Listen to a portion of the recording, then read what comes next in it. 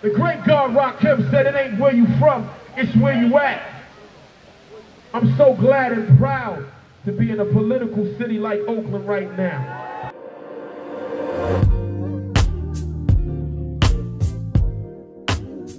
Any any conscious artist is always aware that each neighborhood is, is so similar and the struggles that we go through in terms of art programs being cut from the kids and so many different things in terms of police brutality. I mean, the list goes on and on. I'm pretty sure the people who are watching this interview, I don't need to be redundant about the, uh, you know, the struggle in terms of the youth and educating them and next generation. You know, you need to bring it to the community. You know, it's, it's a beautiful thing that hip hop started in the community, and because of, you know, uh, the dysfunction of uh, the music industry as we know it's definitely going back to the to the people.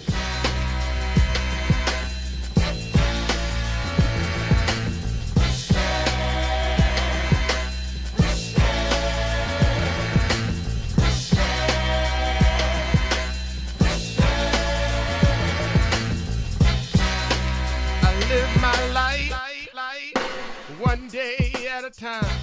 Well, the, the new project is called WAR. It's an acronym for We Are Renegades, and it's it's really pushed towards the artistic mind from poets, writers, sculptors, dancers, any free-thinking people who are basically, you know, feel the wall of the system. You need to be a renegade to break do, through and kind of discover your own path and your own ideas. And a renegade is anyone who does that, in my opinion. You weak ass coffee box power shots miss fly over me. My activate jabs connect like rotary. Make you notice me, be like, damn, dude's awesome totally when he rides the baseline like Ginobili. Brown people, white people, black people, get a fist in the air like this for freedom if you free mentally. And you know what's going on with radio. You know what I'm saying? Hip hop is right here, live in effect. Graffiti right there. B-boys right here, fist in the air like this. Come on,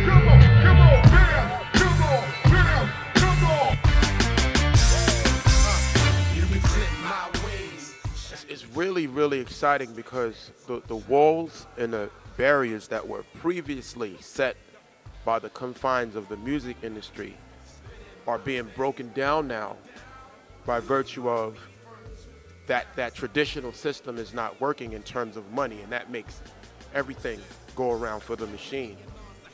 Since there's a lack thereof you know it's an open field for artists to be creative again. And uh, and the most creative will, will probably break through and garner the attention of the people and it's just an open forum to go back to musicality live instruments samples flipping samples lyricism what's the truth?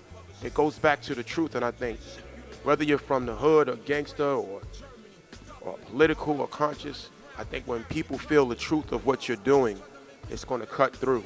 So it kind of forces artists back into that era where we was forced to work on our craft. If you listen to the music that even the upper echelon artists are making right now, it's better than it was three years ago because they see that you really have to come with it right now. So I- I'm excited about hip hop in the next three years. Hold me down. I keep my feet firm to the ground. 'cause I- Okay. Yeah.